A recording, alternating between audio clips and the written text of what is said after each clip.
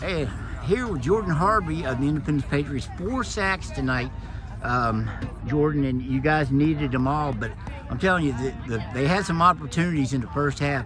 You guys kind of flipped the, the script there in the second half. What happened? I mean, in the second quarter. What happened in the second quarter? And you guys really, you really asserted yourself defensively. I think you had two or three of your sacks in that second quarter. Well, I mean, we all realize at this point everyone's good. I mean, top eight, I mean, top 16, you can argue about teams sneaking in, but top eight, everyone's good. So at this point, it's going to come down to who plays better on defense and who makes the least amount of mistakes on offense. I mean, we, we were 12 nothing. I mean, which, I mean, it's nice having a lead, but we knew that wasn't enough to shut them out.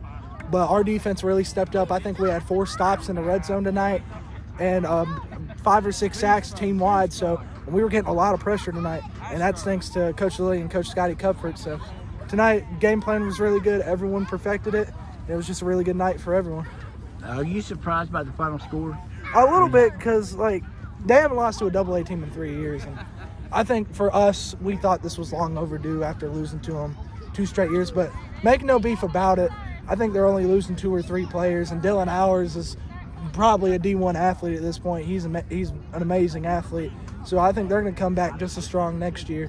But I mean, our, our team, we really stepped up when we needed to, and I think now it's time. It's finally time to prove our doubters wrong and try to win this thing. You know, Judah Price. A lot of people said, "Well, he put up those numbers against uh, not really good competition." Did he? Did he answer a lot of critics? And you guys answer a lot of critics tonight.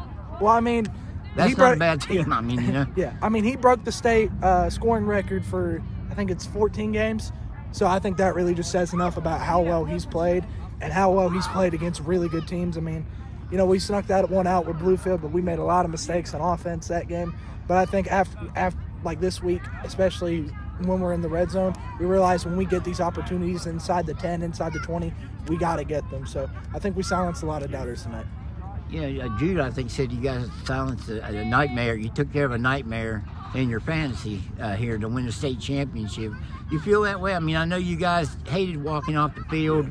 I know you felt you let the community down. Did you exercise some demons tonight? Oh yeah, I mean, walking off that that was one of the. I think we can all agree that was one of the worst feelings we've ever had, like as, as a team, and even in this the athletics department in school history.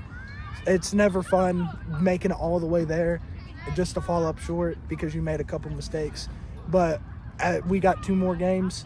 Well, we got one more game to even make it there, and then we got one more game to try to win it. So we're gonna enjoy this one, 24-hour rule, and then it's on to the next. You got to take it one week at a time. All right, Jordan, great job tonight. Four sacks, huh? Yes, sir. Is that a career high? Uh, yes, sir. great job, man. Thank you. Thank you.